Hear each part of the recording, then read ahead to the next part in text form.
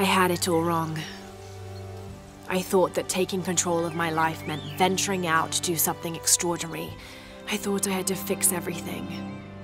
But the mysteries of the world are to cherish more than to solve. I'm just one of their many protectors. I'm not sure what the future has in store, Jonah, but whatever adventure's on the horizon, I can't wait to meet it. I'll try not to take myself too seriously. Tea, Miss Croft. Lovely.